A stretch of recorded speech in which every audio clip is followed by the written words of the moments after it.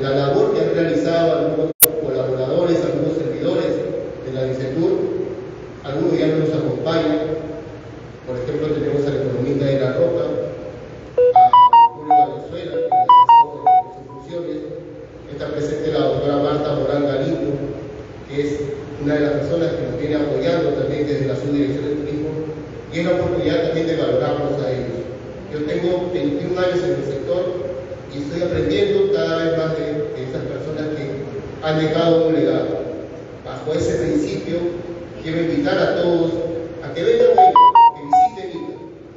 Aparte del calor que, tiene su gente, aparte de los servicios que van a encontrar, porque cada bodega se va a esperar, cada bodega le va a brindar lo mejor de sí.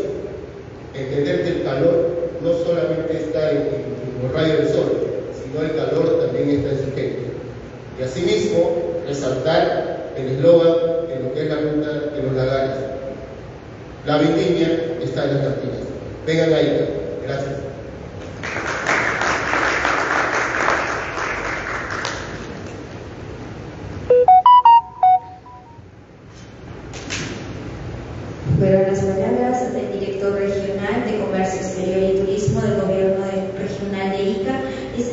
José Bautista Antipati. Acto seguido, quiero ceder el uso de la palabra al presidente de la Asociación de la Ruta de los Lagares, el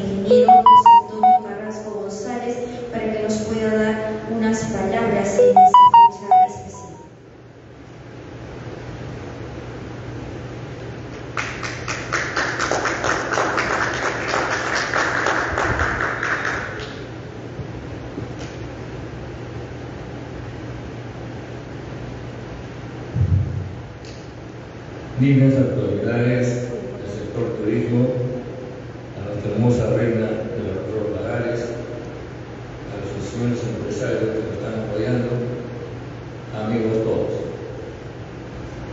Es para mí un honor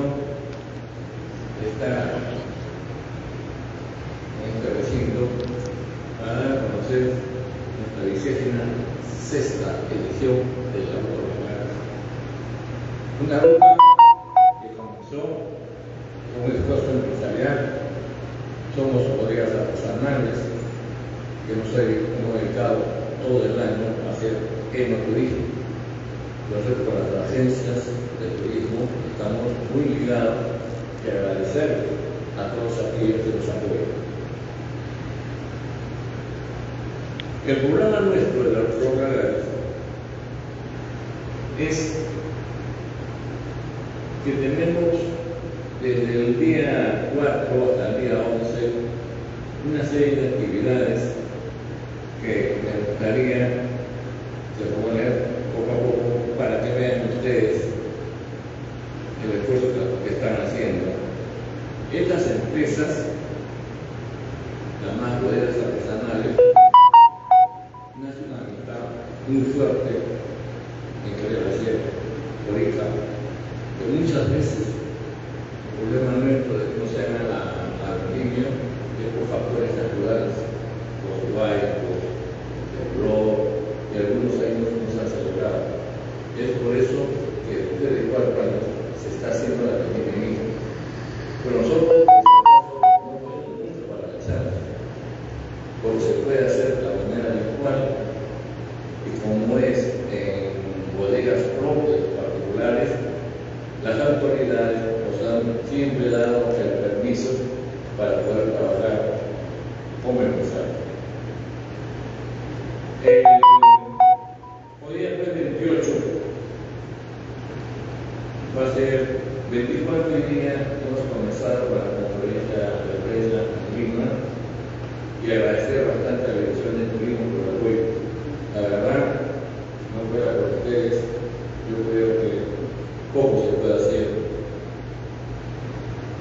Eh, el 28 va a haber una conferencia de prensa en Inca también. Idea es que la gente conozca que ya estamos trascendiendo de una situación difícil en este momento. Pero los empresarios tenemos que seguir la brega, seguir adelante. El 4 de marzo que se inicia nuestra semana se inicia con la bodega Paraíso, ¿no? Donde más rescatable entre lo que es la pista de oro y todo eso que tiene es el concurso de marinera de caballo de paso, donde eh, es el caballo de paso con su, con su reina. ¿no? Muy interesante, creo que eso es parte también de nuestra tradición ingenua. El 5 de marzo, que es la bodega Centauro, aquí la cosa es muy interesante porque se hace en un caso, en un desierto, una bodega tradicional, donde vamos desde los payares, ¿no? Eh, el Valle de Ica. Y también va a ser Dulza, un muy interesante de que es propio del lugar de Oaxaca. Y como ustedes pueden ver, el paraíso pequeño, que es el primero, es en el Pico de Salas. El centauro, el segundo, es en Ocucase, ya van dos distritos.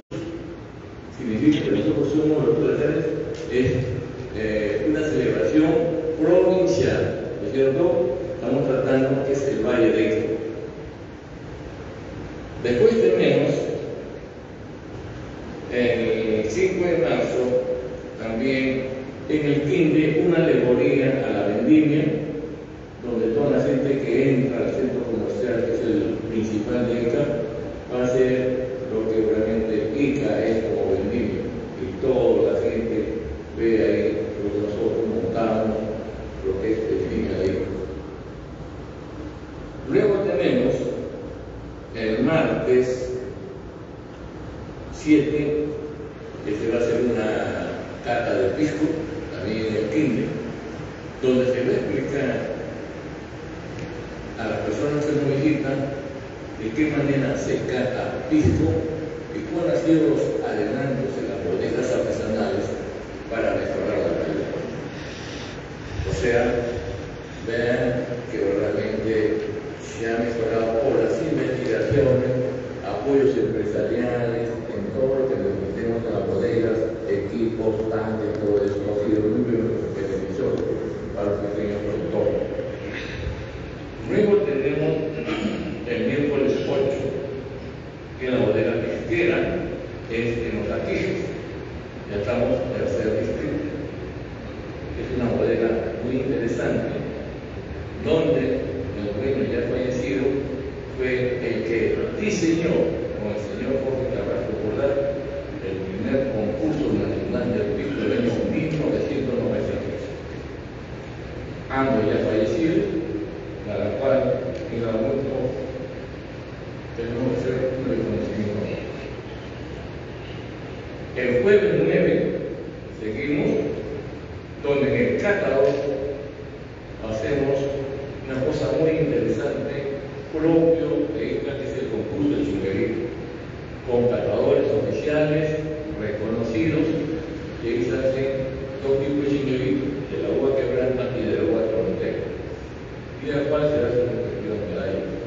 Después viene la pizza de uva, porque todas las bodegas de pizza de uva, viene el castillo, un castillo hecho por artesanos, se da trabajo también a, a la gente de ahí, que los artesanos, y de ahí nosotros, en la pizza de uva tenemos el honor de tener a Roberto Samonero. Lo que hemos mencionado ahora, excelente persona, que ha hecho mucho por mí. Y después de ahí ya viene la cena, con música, el baile, o sea, se te da trabajo a muchas personas siguiendo la ruta Balanza. El viernes 10 estamos entrando a Pampas, una bodega artesanal que ha avanzado mucho por los últimos años con calidad de piscos y calidad de vinos patrimoniales, la cual siempre he hecho un reconocimiento a los jóvenes empresarios que hacen por ICA lo mejor. Y como ven, son bodegas muy reconocidas por su calidad de producto, calidad de organización en lo que es el periodismo. Felicitaciones también por la bodega aparte. Y el sábado 11 estamos cerrando ya nuestra semana con la bodega soltera. La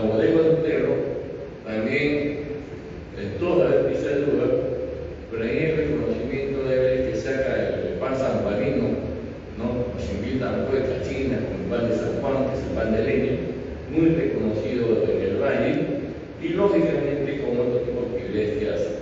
Pero lógicamente la base fundamental es la pizza de uva, donde los mismos eh, personas que van pueden acercarse a hacer la pizza, no hay conocimiento, fotos, videos, que es lo que nosotros vamos a hacer.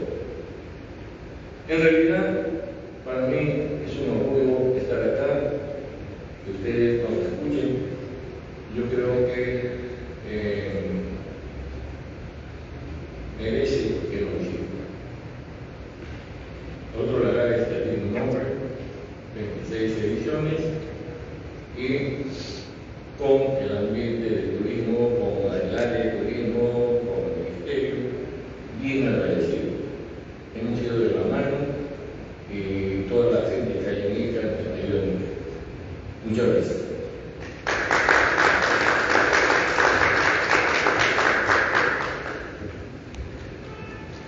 Fueron las palabras del ingeniero José Antonio Carrasco González, presidente de la Asociación de la Ruta de los Lagares, quien nos ha hablado, quien nos ha presentado el programa oficial de esta vigésimo sexta edición, una edición eh, post pandemia que nos permite pues eh, reactivar la economía, sobre todo en estas empresas que realizan enoturismo. Vamos a hacer un recuento de estas seis bodegas. Iniciamos el día 4 en la bodega Paraíso Iqueño, el día 5 en la bodega Centauro, asimismo el día 5 de marzo. Tenemos una activación en el centro comercial El Quinde, el día 8 de marzo en la bodega La Pisquera, el día 9 de marzo, bodega Restaurante Turístico El Catador, eh, 10 de marzo en la bodega Pampas y finalizamos el 11 de marzo en el distrito de San Juan Bautista con la bodega Sotero. Asimismo, esta asociación de la Ruta de los Lagares en coordinación con la Dirección Regional de Comercio Exterior y Turismo han preparado un video promocional para invitarlos a celebrar de esta fiesta, la vendimia en la campiña.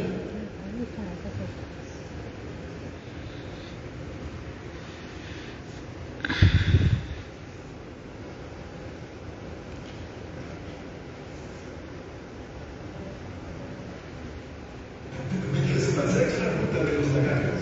La vendimia está en la capilla. Del 4 al 11 de marzo. Ven y participa de nuestras actividades.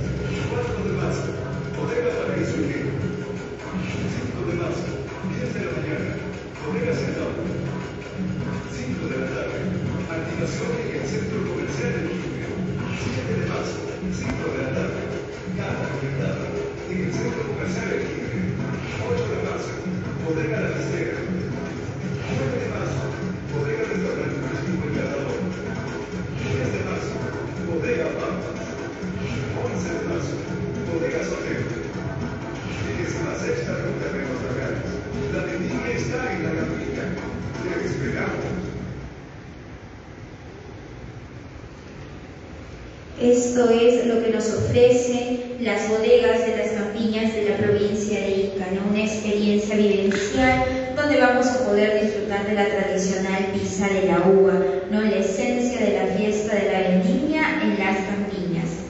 Asimismo, quiero invitar al director de Innovación y Oferta Turística del Ministerio de Comercio Exterior y Turismo, el señor Carlos García.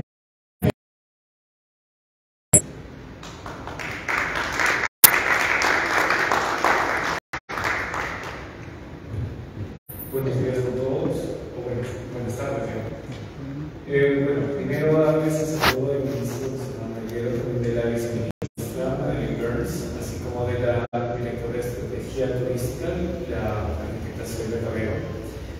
Bueno, eh, parece muy interesante este tipo de actividades que promueve la reactivación. El Ministerio de Comercio y Turismo viene desarrollando otras actividades que promuevan este tipo de gestiones o también este tipo de iniciativas que son la razón de ser de la reactivación de la actividad turística a nivel nacional.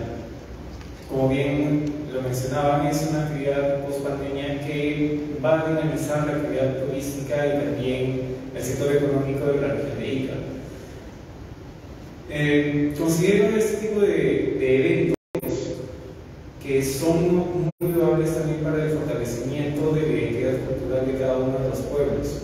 Dentro de la Dirección de Innovación de la Oferta Turística, nosotros también promovemos este tipo de acciones, este tipo de actividades que promocionan la identidad cultural y también la conservación del patrimonio cultural de cada una de las regiones y de los pueblos.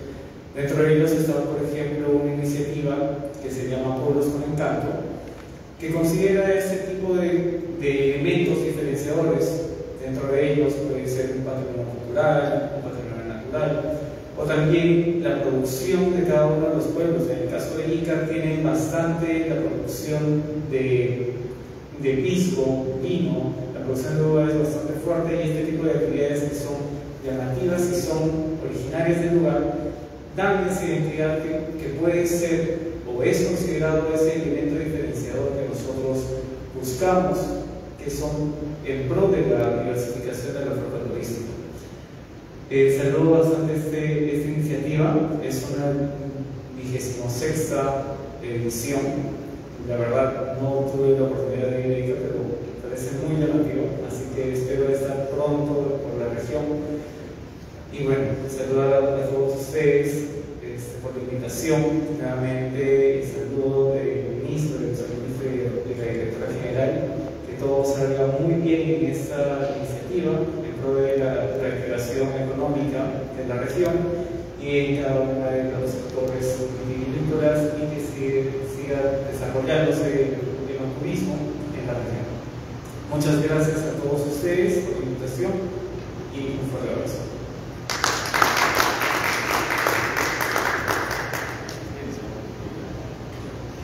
Fueron las palabras de Carlos García, director de Innovación y Oferta Turística de Mincetur.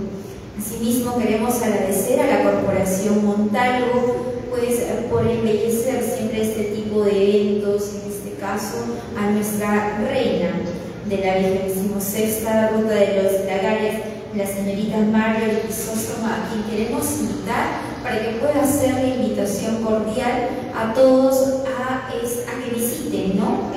Días del 4 al 11 de marzo las actividades realizadas por la 26 Ruta de los Lagares.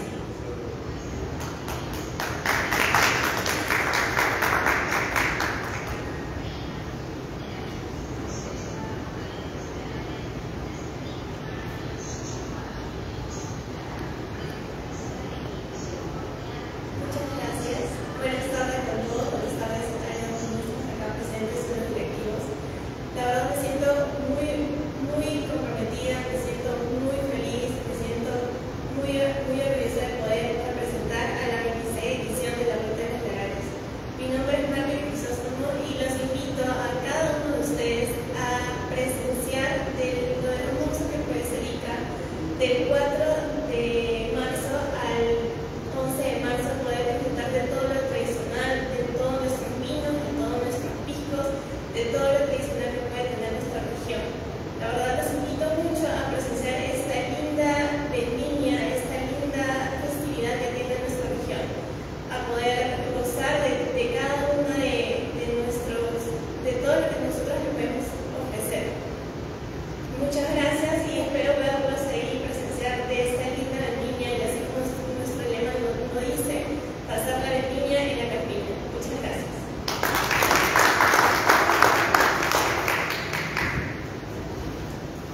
Fueron las palabras de nuestra reina de la 26 Ruta de los Lagares, Marjorie Crisóstomo. Asimismo, eh, quiero agradecer a cada uno de los miembros de la mesa de honor por su distinguida presencia en esta actividad. Sin duda alguna, la Dirección Regional de Comercio Exterior y Turismo en coordinación con eh, la Asociación de la Ruta de los Lagares, que es una asociación con fines culturales, ¿no? Con el soporte que nos brinda en esta ocasión Pro Perú, brindándonos estas ventanas ¿no? de promoción, de difusión turística y promoviendo sobre todo la reactivación en este proceso post-COVID, post-pandemia, ¿no? y una reactivación también progresiva debido a la coyuntura que estamos atravesando, hacer la cordial invitación a cada uno de ustedes a que puedan hacer eco de esta actividad de la 26 Ruta de los Lagares, a disfrutar de la vendimia y la campiña, a vivenciar esa experiencia única que traen estas seis bodegas ¿no? que se van a presentar del 4 al 11 de marzo. Hay que esas actividades pues eh, van a ser sostenidas dentro del año también porque son empresas con responsabilidad social que buscan también pues no el cuidado con el medio ambiente, el tema de la responsabilidad social, el tema de la revaloración de nuestra cultura, nuestra identidad, nuestra tradición aquí en nuestra provincia de Ica. Es un evento interdistrital que hermana, ¿no? Es, la cordial invitación de la Asociación de la Ruta de los